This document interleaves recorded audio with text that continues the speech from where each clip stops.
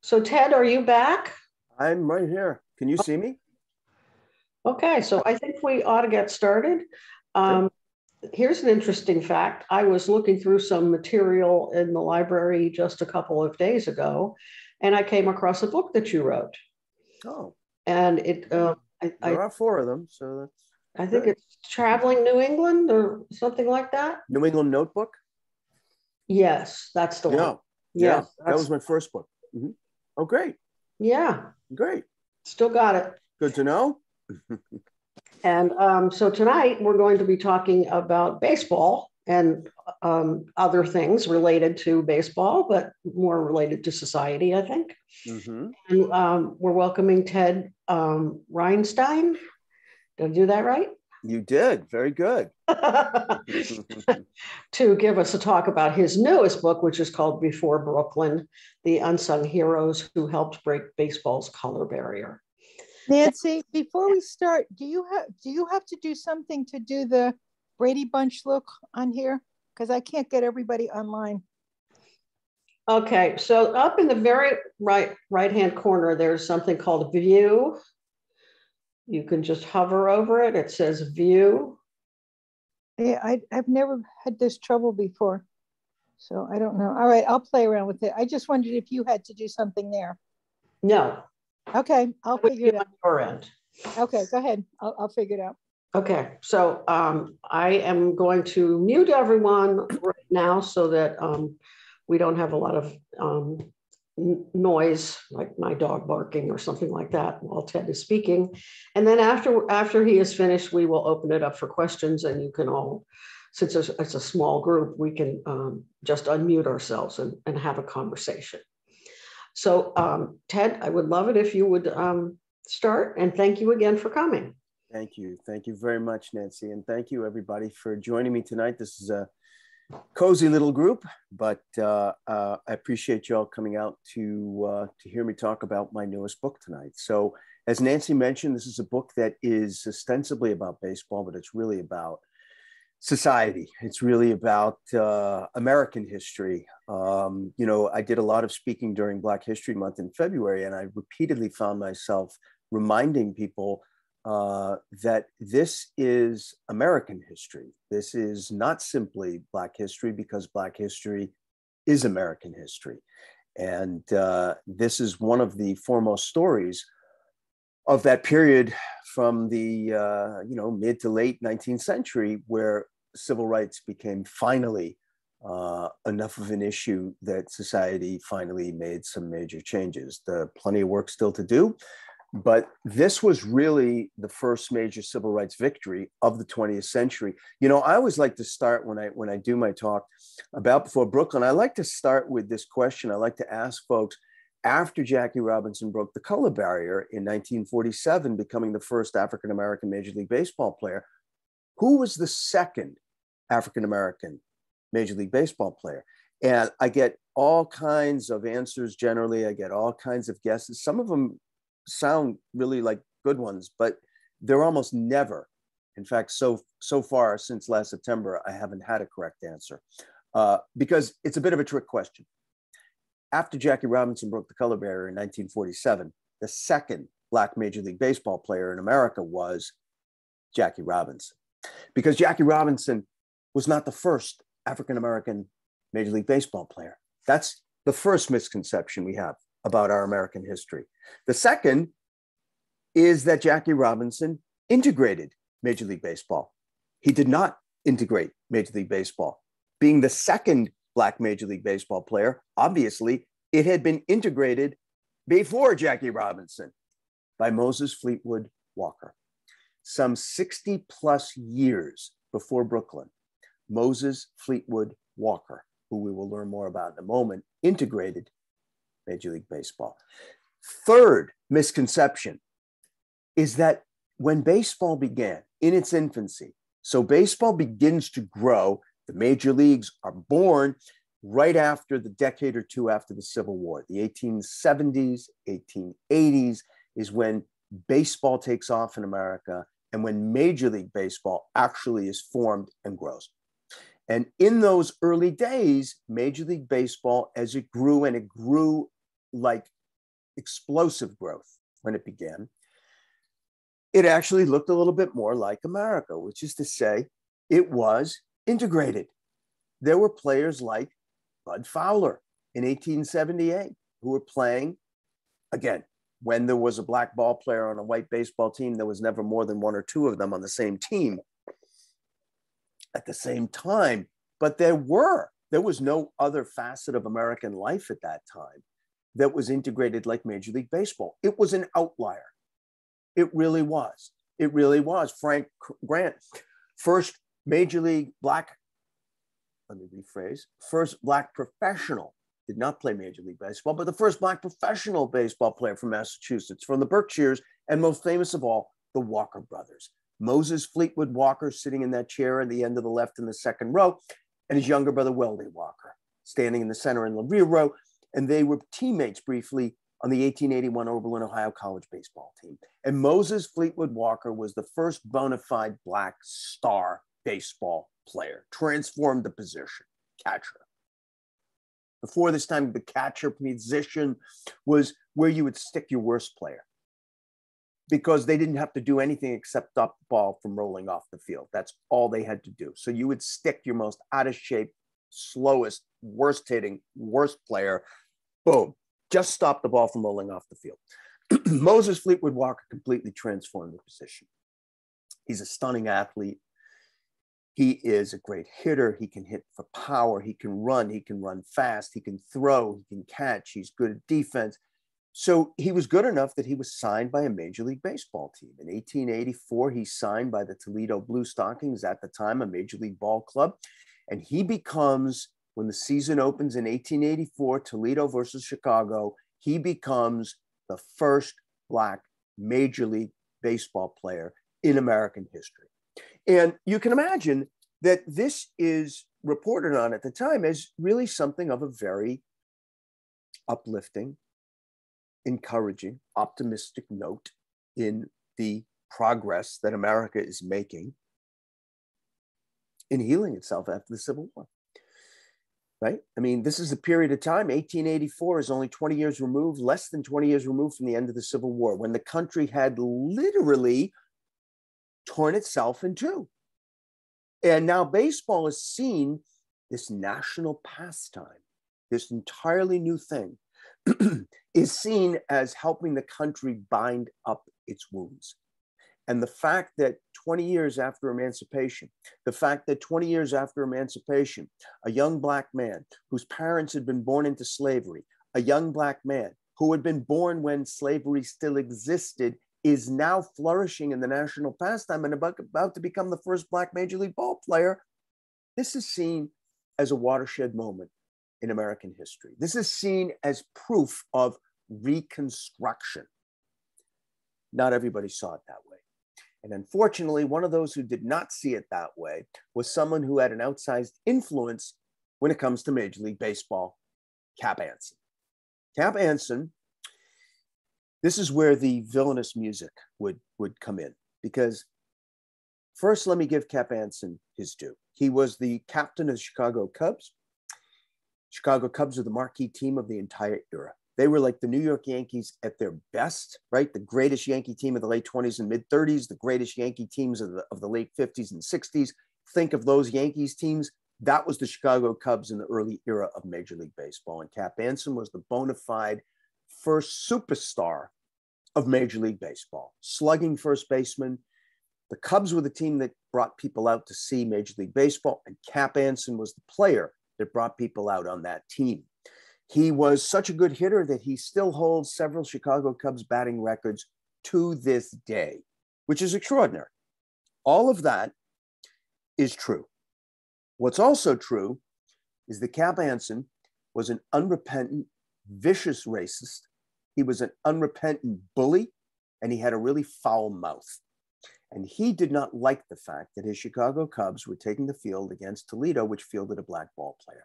He didn't like it enough that he played the game under protest. Further, he informed Major League Baseball after the game that the Cubs would no longer take the field against any Major League team that fielded a black ball player.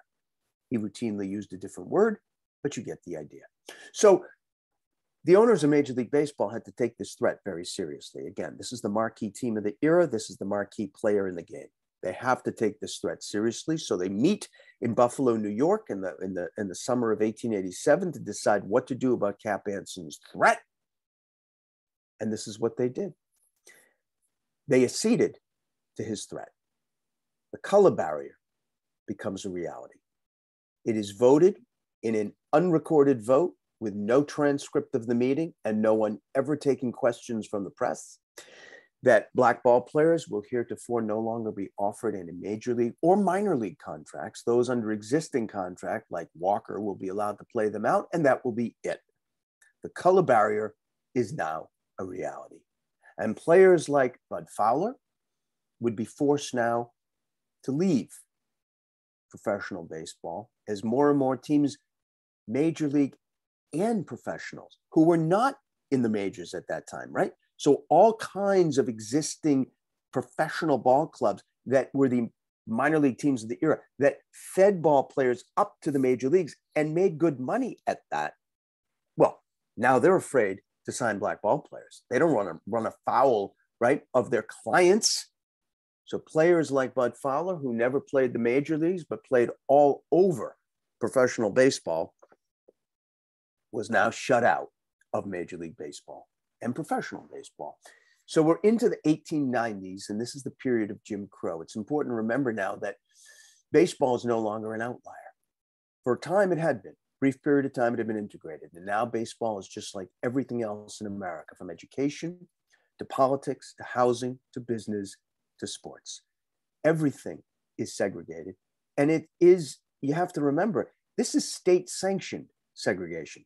This is not just segregation in, in deepest Alabama Louisiana.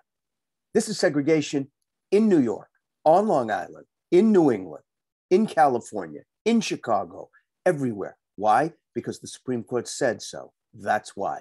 Because in Plessy versus Ferguson, a decision that came down originally regarding transportation in Alabama and Louisiana is now made legal all over the country.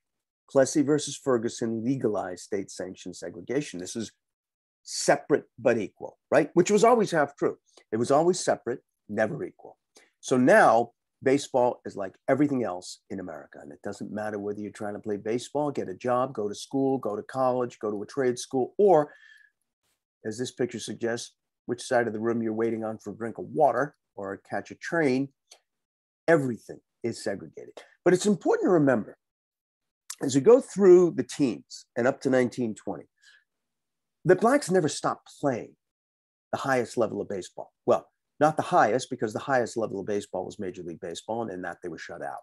But they never stopped playing professional baseball, and they never stopped playing a high level of baseball. Some of the black barnstorming teams of the teens leading up to the 20s were good enough to beat major league teams, and they often did. And they often did. They just were not allowed to get to the highest rung of baseball, which was Major League Baseball. And you can understand that that was something that a lot of great black ball players of that period of time, right, the two decades from the fall of the color barrier or so up into 1920, found it intensely frustrating that they were not able to get to that final rung of baseball, Major League Baseball. And one of those who felt that most keenly was Rube Foster. Rube Foster was the first real star black pitcher. He played on several great black barnstorming teams like the Chicago Giants. Um, and he decided that when he retired, he was going to do everything he could to create an elite level of play for black ball players. Yes, he understood that blacks would not be allowed to play in the major leagues, but as he said, there's nothing they can do to keep us from playing in our own major leagues. And in 1920, in Kansas City, Missouri, Rube Foster founded what that would be the Negro Leagues. The Negro Leagues are the single most significant unsung hero in the entire saga of the struggle to break the color barrier, because without the Negro Leagues, there would never have been the showcase that would was necessary for whites, not blacks. Blacks came out and watched the Negro Leagues from the day they were born. They were already watching the players for the previous two, two and a half decades who became Negro League players during the, the teens, right? They were already, they, they knew who these players were. the Negro Leagues will become vital because it's the showcase that over time, whites will become familiar with the level of play that's going on in the Negro Leagues and will ask themselves, why? If these guys are this good, can't they play in the major leagues? And they would be reminded every time they asked themselves that question why it was they couldn't play in the major leagues, the color barrier. So the Negro Leagues are born and the Negro Leagues take off. I want to draw your attention, by the way. Let me put my cursor right here. Um, see this guy right here? This is, so here's Rube Foster. This is the founding of the Negro Leagues in February 1920. This gentleman right here, J.L. Wilkinson, is the owner of one of the most iconic Negro League teams in the Negro League history, the Kansas City Monarchs. And J.L. Wilkinson will be the only white owner of a Negro League team in the entire history of the Negro Leagues. And I don't raise this right here just as a you know racial peculiarity. I raise it because there is a direct through line, 25 years straight shot from the day that photo was taken to Jackie Robinson breaking the color barrier, because J.L. Wilkinson will be the Negro League team owner who signs Jackie Robinson to his first professional baseball contract. And then it will only be six months until Robinson breaks the color barrier. So the Negro Leagues are born and the Negro Leagues take off. The Negro Leagues take off because the level of play is that good. Players like John Pops Lloyd, Judy Johnson, and a decade or so later, Oscar Charleston, one of the greatest fielding ball players in baseball history, James Cool Papa Bell, arguably the fastest human being to have ever played baseball. And it looks like the Negro Leagues will have the same explosive growth that the major leagues had in the 1870s and 1880s. They're that good. They go from 18 teams to 26 teams, enough teams to separate into a Negro American League and a Negro National League, enough to have the first of two Negro League World Series. And it looks like the sky's the limit for the growth of the Negro Leagues. And it might have been. It might have been. The sky instead hadn't fallen in because the first decade of the Negro League's explosive growth, the 1920s, ends in 1929 with, of course, the Great Depression. And, you know, I sometimes think that we forget just how cataclysmic the Great Depression really was. I really do. I think sometimes we forget, for instance, you know, we've had periods of times in over the last decade where unemployment has actually been technically under 1% in America. Even now, it's under 3%. During the worst years of the Great Depression, 30, 31, 32, 33, unemployment in many American cities was over 25%. That meant a quarter of all Americans were out of work. And in minority communities, flip that. In many minority communities, unemployment was three quarters, 70% or more, only a quarter working. And in the worst years of the Depression, 32,000 or more American businesses going under every year in the first years of the Great Depression, including the Negro Leagues, gone, up in smoke. Now, you might wonder how many major league teams were going out of business. After all, every all 16 of the American major league teams at that time uh, were each in and of themselves thriving American businesses. And if 30,000 or more are going out of business every year, why wouldn't one or two major league teams go out of business? But as you can see, not a single major league team went out of business. Now, there's a good reason. The Negro League teams were owned by people who may have had some money, but they were not generally hugely wealthy. And they depended on slender lines of credit from Black owned banks only. White owned banks weren't lending money to Negro League teams. And Black owned banks went out of business during the Great Depression.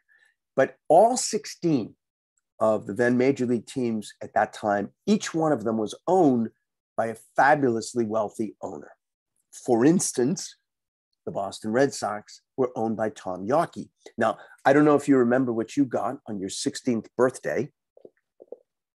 Tom Yawkey came into $16.3 million. And five years later, he came into the rest of his trust fund and came into 16.3 more million dollars uh, and he bought the Boston Red Sox. Now, just to give you a sense of, of proportion here, Tom Yawkey was a relative pauper compared to some of his fellow owners at that time. We mentioned the Chicago Cubs.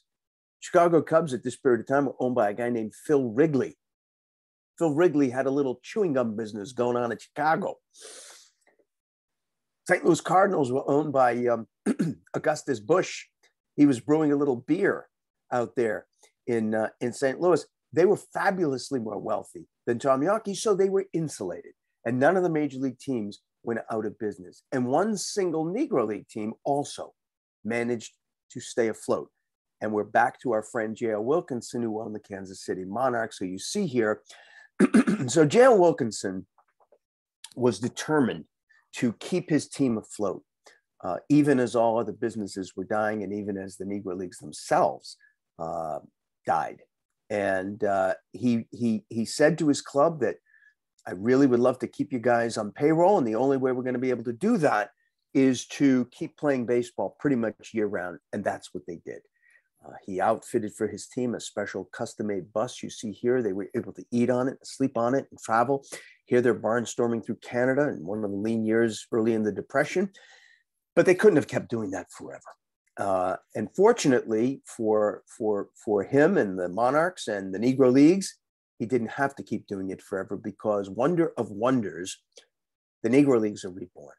And this is really one of the most single most extraordinary events, I think, of the entire period of the Great Depression, certainly of this story, because the Negro Leagues will be reborn in the early years of the 1930s, right? So the worst years of the Depression, and they're reborn in the American city with the highest unemployment rate of all, Pittsburgh.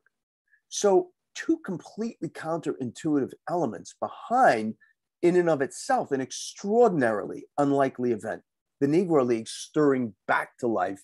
and they do it solely because of these two men who are extraordinarily sort of un, un, unlikely figures of their own. Um, first of all, you're looking at two lifelong arch enemies. These two guys hated each other, and they couldn't have been more different. Um, other than the fact that they were from Pittsburgh, other than the fact they were both men, other than the fact that they were both black men, other than the fact that they like sports, that that's it. That is it. Uh, Posey, Cumberland Posey Jr., uh, son of a pioneering black figure in Pittsburgh, um, one of the first um, licensed certified uh, civil engineers, black civil engineers in Pittsburgh, and he founder of two or three very successful black companies. And I'm sure he had hoped that his young son, Cum Posey Jr., would follow his footsteps into the business. But uh, Cum Posey Jr. had different ideas. He was a sports fanatic. Uh, he loved basketball, which is a relatively new sport then, uh, and he loved baseball. And baseball won out partly because he was approached in the late 1920s um, about saving a legendary black ball club in Pittsburgh. They were known as the Homestead Grays. Homestead is a section of Pittsburgh, and the Homestead Grays were kind of an old time famous team, black baseball team. And he agreed to purchase the team and coach them, manage them, promote them. Um, and it turns out that he had tremendous baseball skills coach, manager, promoter. Most importantly, it seems, though, that his greatest skill um, was in inspiring and motivating young Black athletes. How good a job did he do? Well, in his first year leading the Homestead Grays, Cumberland Posey Jr. and his Homestead Grays of 1931 went out and had the greatest single season that any baseball team of any era, any city, any country, any color has ever had. No team, not the Yankees, not the Dodgers, no team has ever had a season remotely approaching the 1931 Homestead Grays. 143 wins. Let me put that in some context for you, okay? So today, Major League Baseball plays in a 162 game season. At that time, they played only 154 games. The Homestead Grays themselves won nine less games than the entire season for Major League Baseball. There are today three Major League Baseball teams. Today, in 2022, there are three Major League Baseball teams today. I won't name them to embarrass them. There are three that over the last five seasons have not won cumulatively 143 games.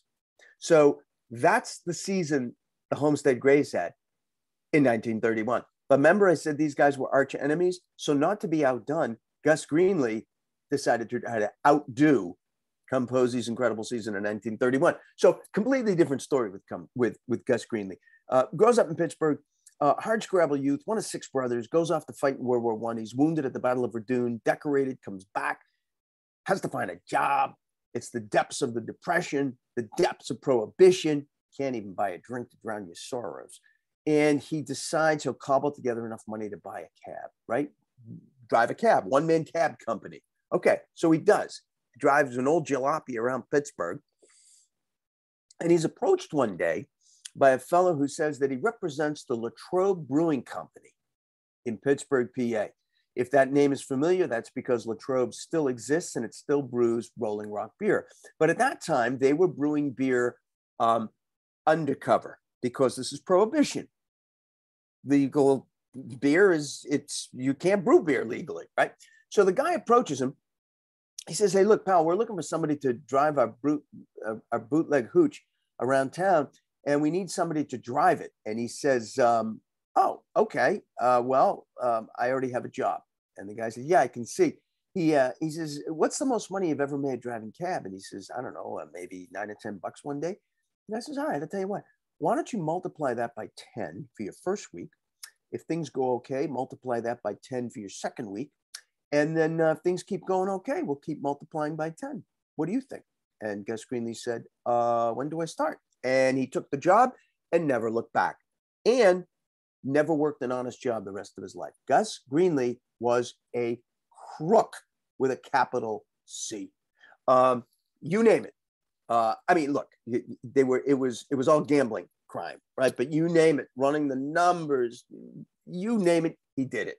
This guy wasn't driving that car very long. This guy was into his own stuff in short order, and at one point was making twenty thousand dollars a week in 1932.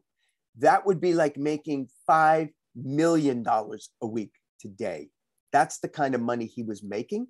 He opened up his own jazz club, which, by the way, is its own story because the Crawford Grill in the Crawford section, the Hill District of Pittsburgh, the Black section of Pittsburgh, is a famous story in its own right. Google it. It's very interesting. It was a mecca, it was jazz mecca. You name the jazz great Ellington, Basie, Billie Holiday, Ella. They all played the Crawford Grill. He's approached about saving another great Pittsburgh Black Ball Club at that period of time. And he decides he will buy the team um, if he can change the name to promote his jazz club. So the Pittsburgh Crawfords are born. And one year after his arch nemesis, Gus Cum Posey, wins 143 games in 1931, Gus Greenlee's Pittsburgh Crawfords win almost 100 games in 1932. How did he do it? Same way he did everything else in life. He stole it. Um, how did he steal it? Well, direct your attention to the rear row. Okay, let me use my cursor again. This guy right here and this guy right here, both were stolen from his enemy's ball club, the Homestead Great. When I say stole, he enticed them away with more money. And by the way, these two guys made an entire career out of poaching each other's best players all the time. But in this case, he had poached the two best players in not only Negro League history, but two of the dozen or so best players who've ever played baseball. This tall guy right here is a promising young pitcher by the name of Satchel Paige, one of the most legendary ball players in baseball history. The guy standing next to him was a promising young slugging catcher by the name of Josh Gibson, also one of the best players to have ever played the sport of baseball. Paige would go on to play in the major leagues and really be one of the most colorful players in the entire history of baseball. Gibson was much more retiring, much less colorful, much less given to talking that much. He was a very shy kind of guy, had a kind of high, squeaky voice, and uh, let his bat do the talking. And it did. Uh, he was known even his playing days as universally as the Black Babe Ruth. And funny story, shortly before his playing days ended, Josh Gibson, Josh Gibson, there he is, catching. There's there's Paige. Josh Gibson met the real life Babe Ruth. And Babe Ruth threw his big meaty arm around Josh Gibson like he liked to do, and he shook him a little bit like he liked to do. And he said, Mr. Gibson, what an honor this is. Hey, I understand they call you the Black Babe Ruth. What do you think of that? And Josh Gibson, in his little squeaky voice, said, Mr. Ruth, my people call you the white Josh Gibson. What do you think of that? So these two guys will do more than any other figures in this entire story to help break the color barrier. And they do it without even attending a demonstration or carrying a placard. They do it because these two players will become so overwhelmingly popular among blacks and whites, who both blacks and whites see in these two players two of the greatest players they've ever seen play baseball, even in that period of time, that they become walking advertisements for how wrong the color barrier is. Now, you have to ask a question here. How do we know so much about the Negro Leagues? I just shared all these anecdotes about Satchel Paige and Josh Gibson and Cool Papa Bell and Oscar Charleston. How do we know so much about the Negro Leagues if you consider there was never a time in the entire history of the Negro Leagues that a single mainstream white newspaper assigned a single beat reporter to be a dedicated reporter covering the Negro Leagues, not the Negro Leagues as a whole, not one team specifically, ever. So, how do we know so much about the Negro Leagues if the white press never followed them? The black press. And the black press, second to the Negro Leagues themselves, are the second most vital unsung hero in breaking the color barrier because it's the black press. Listen, the Negro Leagues are the most significant unsung hero because they were the showcase that showed, again, mostly whites. They showed whites that black players were good enough to play in the major leagues, but everybody wasn't going to games.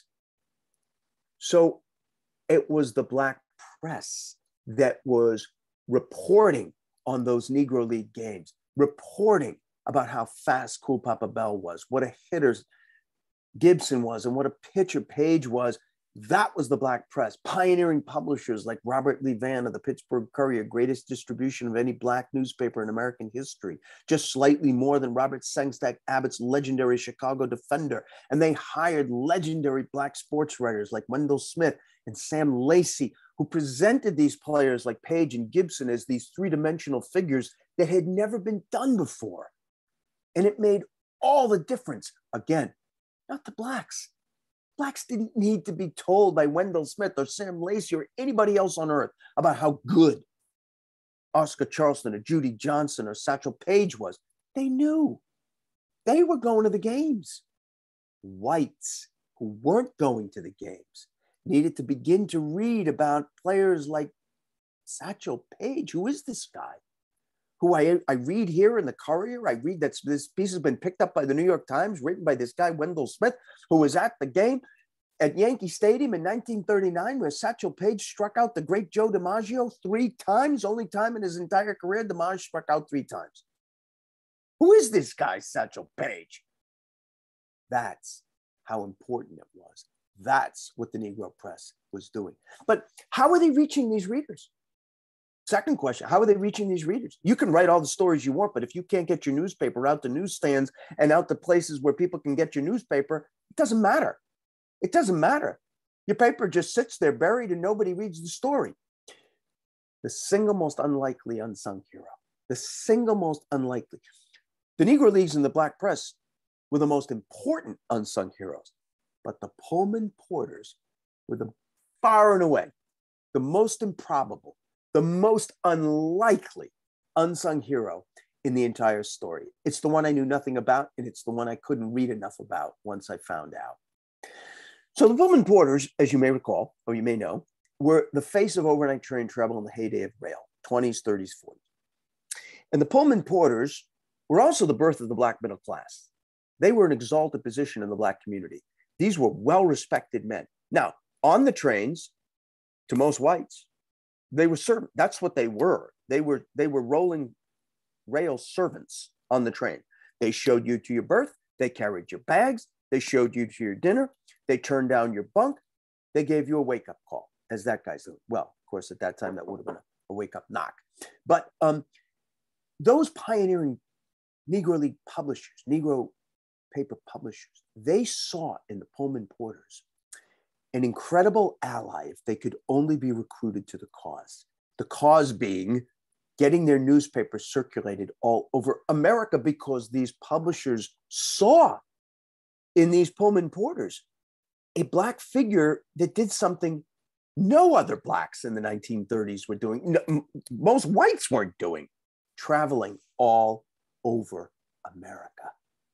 And they thought, hmm, if they could somehow be allied to our cause of getting our newspapers out and people could read the stories of Wendell Smith about Satchel Paige and the, why we need to break the color barrier. They didn't need every Pullman porter. They just needed one or two on every train route, you know, going down the eastern seaboard or out west or up north or down south. And they did. They managed to recruit enough Pullman porters and they did. They were allies in the cause. They were always completely hidden allies. Look, what were they doing? They would take on black newspapers in cities across America. These guys were also involved in provisioning the trains, working the kitchens. They would have food arrive in bread trucks and food trucks, and at the bottom of the bags and baskets and boxes, there would be black newspapers and the trains would take off and they would run down the eastern seaboard from Boston and New York to Baltimore and Philly and on down to Miami. And on those trains, there would be these black newspapers and they would offload them in various cities and take on more black newspapers. Any one of them would have been fired on the spot had they ever been caught, but they never were. So by 1939, there were times when you might have a better chance of finding the Pittsburgh Courier on a newsstand in Seattle or Miami or Fort Worth, Texas, than the New York Times. And in this way, the consciousness began to be raised all over America about the color barrier, still existing in 1940. Now, we're up to 1940, and it's important to point out so we're up to 1940. So we're less than 10 minutes away from the end of our story and the breaking of the color barrier, because that's hmm, spoiler alert, but that's how the story is going to end, right? So, how do we get there? Major League Baseball was no closer to dropping the color barrier in 1940 than it had been in 1930 or 1920 or 1910 or 1900 or 1890 for that matter. So, what happens? Well, in a nutshell, what happens is that the decade of the 1930s ends the same way the decade of the 1920s ended, which is to say, with another national and more international cataclysm, World War II. And in New York, which before this time was not a hotbed for the for the breaking the color barrier, but it becomes one. Lester Rodney is the first person, a sports writer, and he's the first person who will frame the argument for breaking the color barrier in the context of World War II. And he does it this way. So Lester Rodney, by the way, is nobody's profile of somebody who would be trying to break the color barrier. First of all, he was in New York, which, as I said, was not a hotbed for breaking the color barrier. He was white. He was Jewish. He was a communist. Hey, nobody's perfect, okay? But he was also a gifted sports writer. And in the late 1930s, he would have written for anybody, but he happened to get a job with the American Communist Party and their Daily Worker, their daily newspaper, because in the late 1930s, the Daily Worker launched a sports section and they needed a sports editor and Lester Rodney got the job. And he loved baseball. He was a gifted writer, hated the color barrier. And he begins framing the color barrier within the immorality of the following, which is that he would remind viewers that America is going to war. And at this moment, as he would remind people, blacks as well as whites are training to fight, and they will be going off, and they will be asked, if necessary, to die for their country.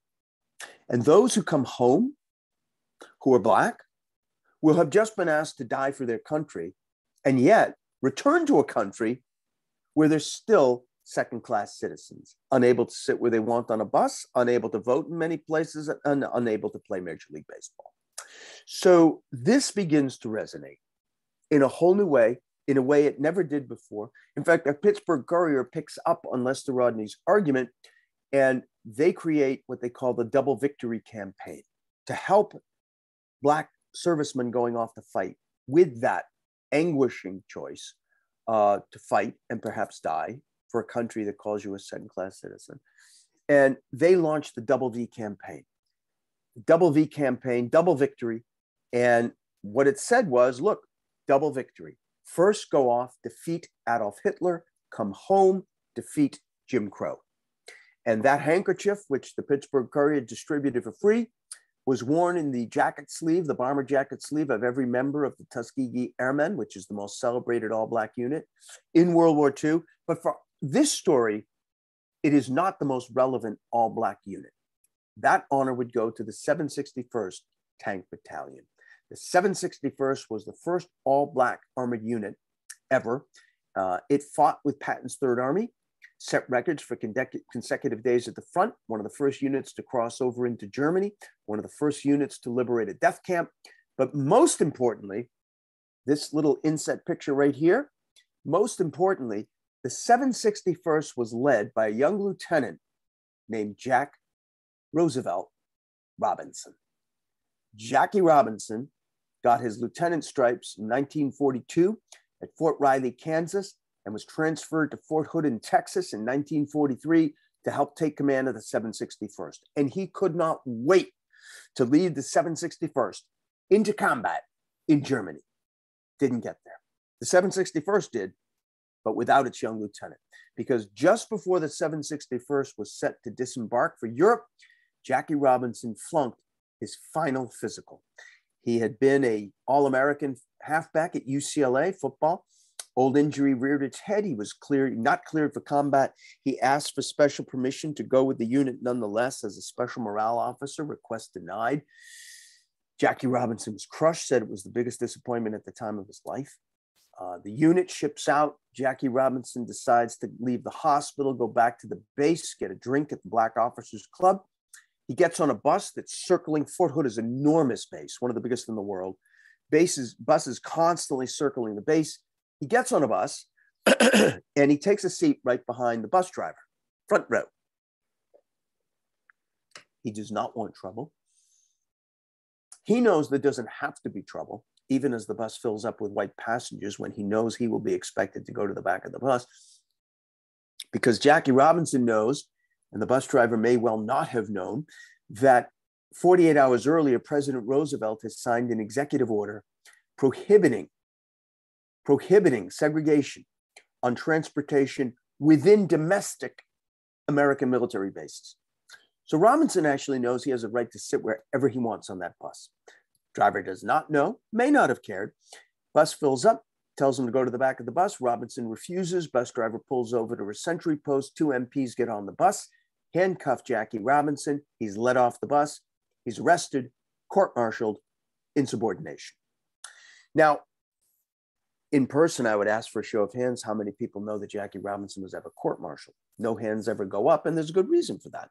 Because if Jackie Robinson had been court martialed and had lost and been dishonorably discharged from the army, you would never have heard of Jackie Robinson.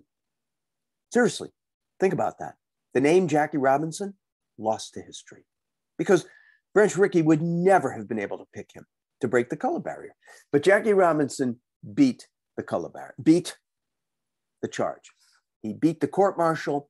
He was honorably discharged from the army. Now he needed a job in the spring of 1944. So he writes a letter to our old friend, owner of the Kansas City Monarchs, J.R. Wilkinson, and he asks him for a job. He said, I know that some of your best black ball players are still returning from Europe, and I'm wondering if you might be able to give me a tryout to play for the Monarchs this year. And J.R. Wilkinson says, Jackie Robinson, I know who you are. You don't have to try out for me. You got a job. Report to spring training in Houston, sir. And he did. And Jackie Robinson reported for spring training. And in short order, the final battle of the color barrier will be fought in Boston it will be lost, but the war will be won. So Jackie Robinson breaks camp in Houston with the Kansas City Monarchs, returns to Kansas City for opening day, 1945, April.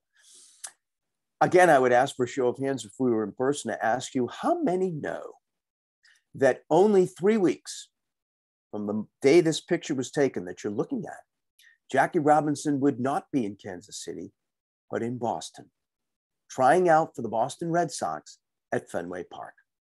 Because at the same time he's posing for this picture on opening day in KC 1945 in Boston, Izzy Muchnick, a Jewish Boston city councilor, is instead focusing on how he can force the Boston Red Sox to hold some tryouts for black ball players. He has been very moved and touched and persuaded by Lester Rodney's arguments about the color barrier and how it must fall now in the context of World War II. And Muchnick sits on the Boston City Council, the second Jewish Boston City Councilor, would, would go on to become the first chairman of the Boston School Committee.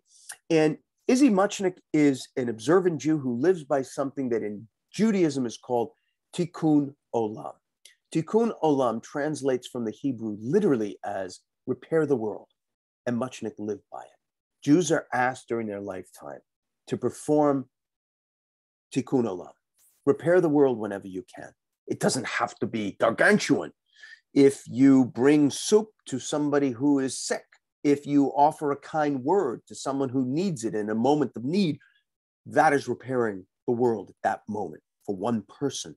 Muchnick did his, his eye on something much bigger. He really did want to try and break the color barrier. And he was desperately looking for a way to have leverage with the Boston Red Sox. And in April 1945, he found it. He found, you know, Massachusetts used to have these archaic things called the blue laws. They're mostly gone now, but um, but they still existed. You know, till less than 20 years ago, there was still a blue law in the books of Massachusetts, which forbade liquor being sold on Sunday in Massachusetts. That's the kind of laws they were from the Puritans, fun people, the Puritans.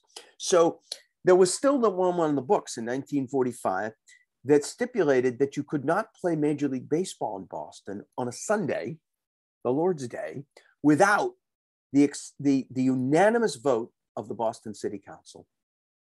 Izzy Muchnick realized wait a minute, I'm on the Boston City Council. All I have to do is withhold my vote. Sox can't play baseball. Time to play ball, hard ball. And he did. He wrote a letter to the Brain Trust of the Boston Red Sox. And there you're looking at him. There's Tom Yawkey right here. There's his general manager, Eddie Collins, his manager, Joe Cronin, both themselves in the Hall of Fame. Uh, and this tall guy here, Eddie Collins, his general manager, got the letter in which Izzy Muchnick appealed to him to hold a tryout for some qualified black ball players. And Eddie Collins, Eddie Collins had no intention of holding a tryout for black ball players. Uh, that wasn't going to happen. He didn't say that, but he did say, look, uh, in all my tenure with the Red Sox, Mr. Muchnick, my esteemed Mr. Counselor, there has been zero interest from any black ball players in playing for the Red Sox. So what can I do? Uh, Izzy Muchnick understood when he was getting a load of you know what. So he waited and he waited and he waited until a week before that vote was to take place to allow the Red Sox to play baseball on Sunday. And he sent a cablegram back to Eddie Collins. And he said, Mr. Collins, it appears you have no interest in holding a trial for the Boston Red Sox. And therefore, this cable should serve to inform you that I will be withholding my vote for the Red Sox to play baseball on Sunday this year. Well, that got Eddie Collins' attention, needless to say. And he ran to Tom Yawkey's office and they realized they had to try to appease this guy. So they wrote back and they said, fine, we'll have a tryout. Three, three, that's it. Three black ball players. Have them at the ballpark at 11 a.m., gate D, April 12th, 1945 and there is to be no press, they said. And Muchnick grudgingly agreed. Now, Izzy Muchnick knew a lot about Boston politics and order, ordinances, but he did not know much about black baseball. So he consulted with Wendell Smith of the Pittsburgh Courier, and Wendell Smith picked out three, what he thought would be the leading candidates to get a tryout for the Red Sox. Uh, Marvin Williams, a young outfielder named Sammy Jethroe, and a promising young infielder in KC named Jackie Robinson. and they trooped to Boston and they were all set to try out. And it didn't happen. Because on April 12th, 1945, President Franklin Delano Roosevelt died and America shut down. No trial. 24 hours later, America began to open back up. 48 hours later, America was fully reopened. But the Red Sox seemed to be still in the throes of inconsolable grief can't have the tryout. Well, obviously, what they were trying to do was run out the clock, and they almost made it. Two more days. Two more days was all they needed to do because on the afternoon of April 16th, 1945, the Red Sox are scheduled to catch a train to New York, where they will open their 1945 season on the 17th at Yankee Stadium. But on the morning of April 16th, 1945, a white sports writer in Boston breaks the story.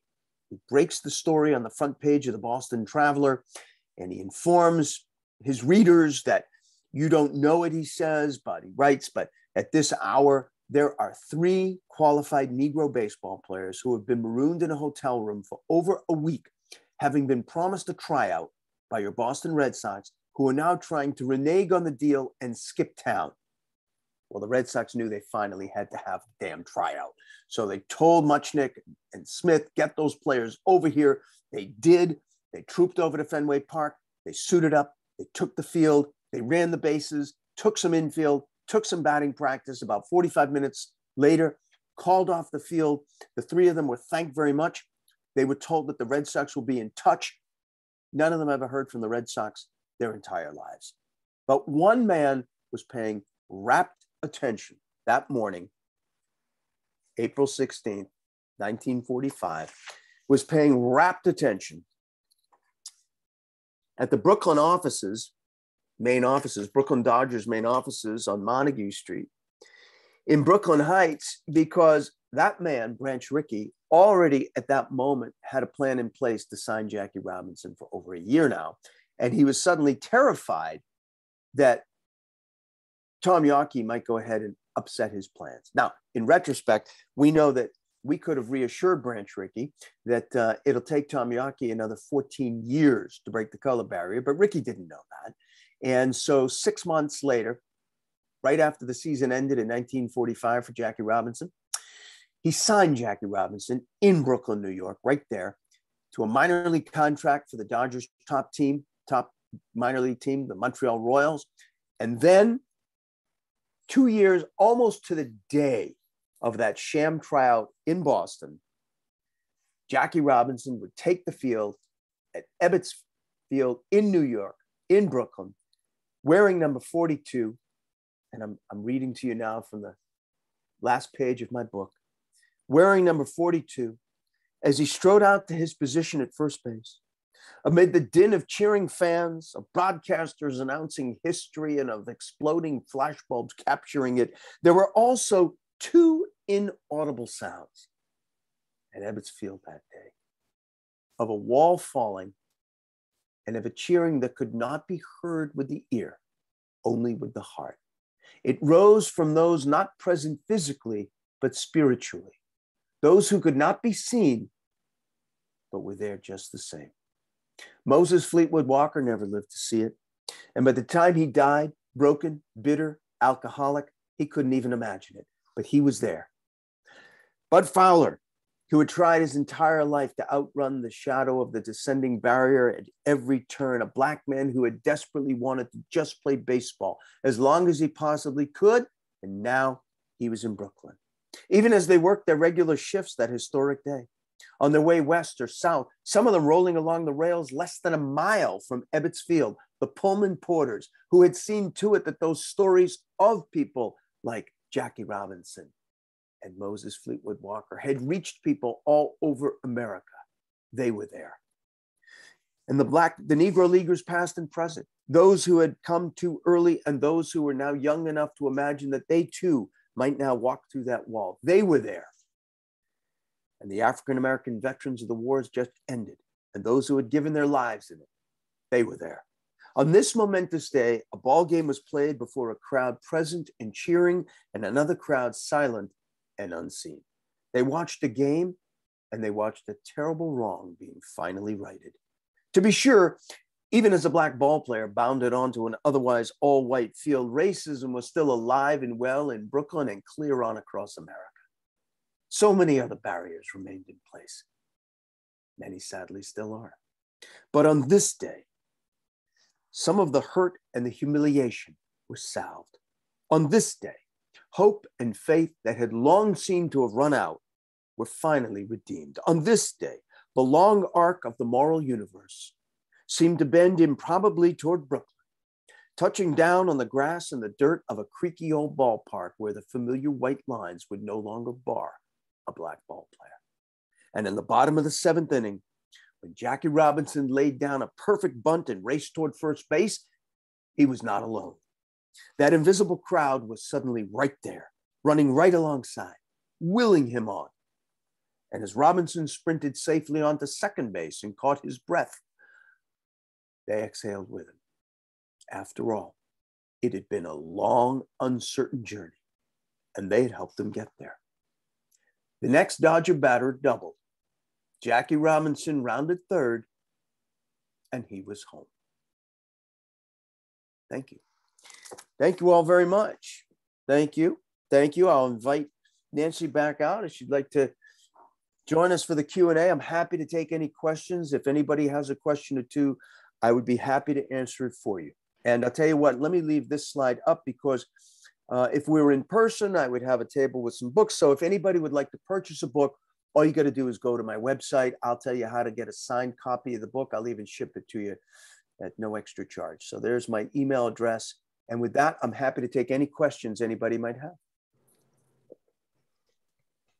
Uh, you can all unmute yourselves. I think we're just going to have a little conversation. Yeah, sure. Um, and you know, I actually have a question. How how segregated were the fans, Mm, the audiences? It how segregated were they? good question. Good question. That's a great question, Nancy. I, and I, I, I sometimes get asked that, and I'm always glad I do because it, it's important. We're talking about black ball players being segregated, but it's important to remember that ballparks were also segregated. So blacks were not barred from attending major league games. Black ball players were barred from playing on those teams, but major league ballparks were segregated. So there were areas of major league ballparks. They were almost always out in the outfield and, and some of the worst seats. Those were black sections where they were uh, forced to sit. Now, curiously, Negro League parks were never segregated. Blacks were free to sit wherever they wanted at any Negro League ballpark. But thank you. That's a great question. And did many white people go to the black ballparks? Another good question. So early on, no. So early on, when the Negro Leagues begin, uh, right after 1920, um, they're almost entirely uh, blacks coming out to these ball games. But word begins to spread so quickly about how good some of these players are. Players like Judy Johnson and Oscar Charleston and Cool Papa Bell, these were extraordinary ball players. They would have been able to play on any major league team. And by the late 1920s, as, and as the Negro Leagues take off again, listen, you have a team like the, the Homestead Grays that win 143 games. That's reported on. So by the mid 1930s, people in Pittsburgh are flocking to see the Homestead Grays, whites included. And funny story, Nancy, you know, people in Pittsburgh, don't forget, Pittsburgh was home to the Pittsburgh Pirates, a legendary major league team. I grew up in Pittsburgh. so I don't have to tell you about the Pirates, and you might also know the joke that I'm about to tell you. The joke in Pittsburgh in the 1930s was blacks and whites was Pittsburgh, home to two great ball teams. The Pirates aren't one of them. So there you go. there you go. The Pirates were terrible in the 1930s. So Smoke City, but the uh, the Pirates weren't considered one of the one of the three great played baseball teams. Any other questions?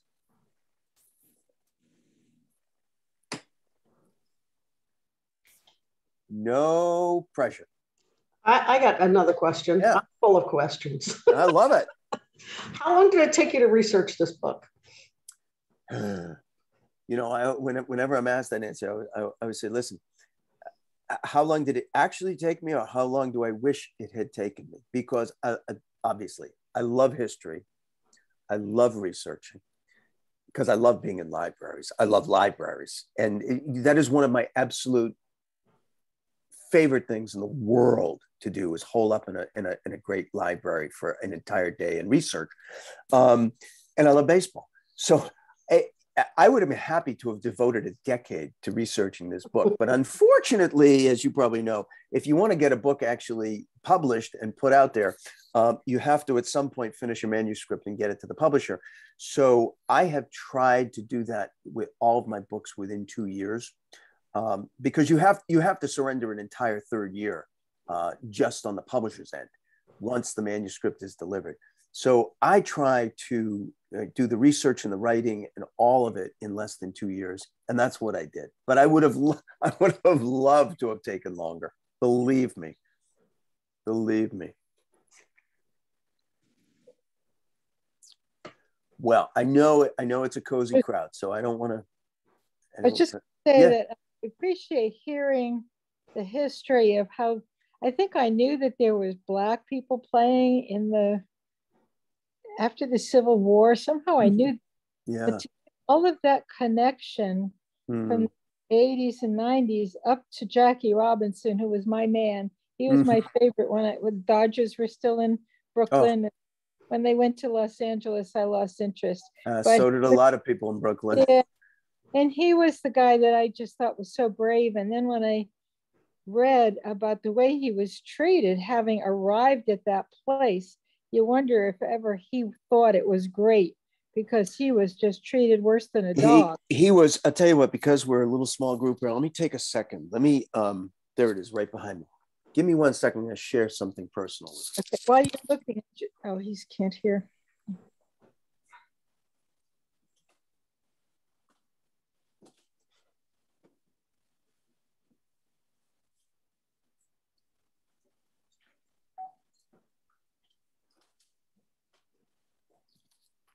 All right.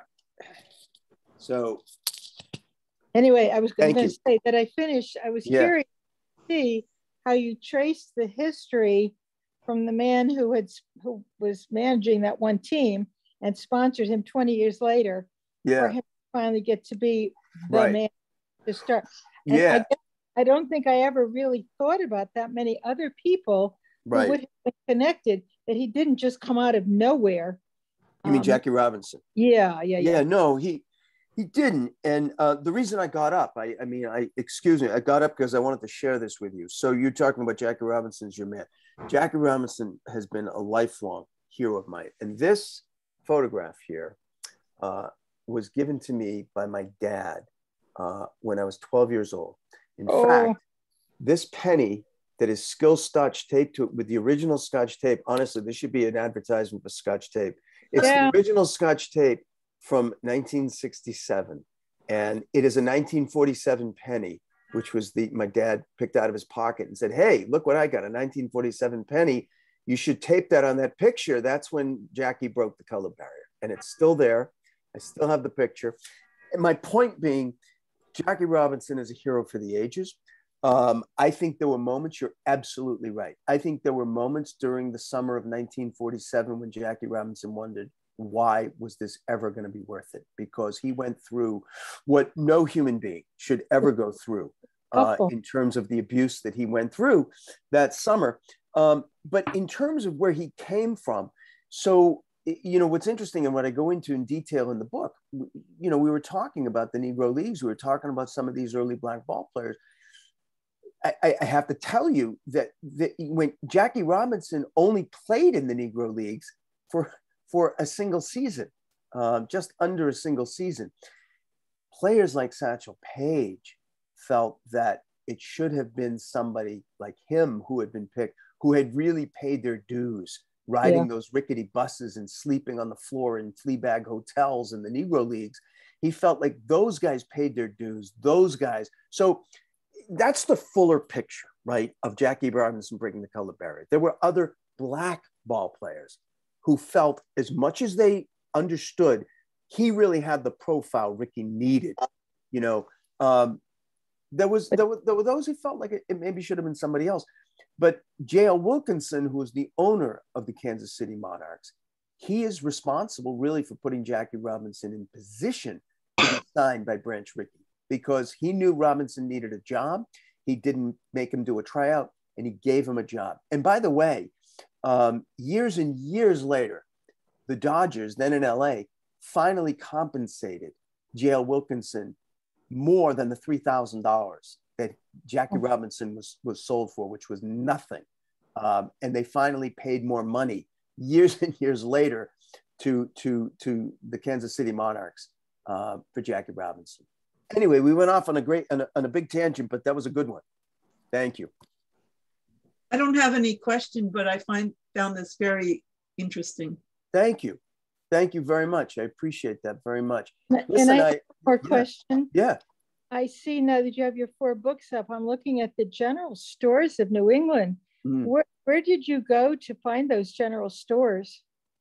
Oh, uh, so I've been reporting around New England for um, 25 years, and I've always loved general stores. So I have visited general stores in all six New England states and many other general stores around the country. So uh, I've been in in many many general stores, but for the book, I chose about 40 that really, in many different ways, uh, told the story of why general stores matter so much in American history, uh, not just New England, uh, not just commerce either, but what they mean in terms of the the the, the creating community in a lot of small towns around uh, New England.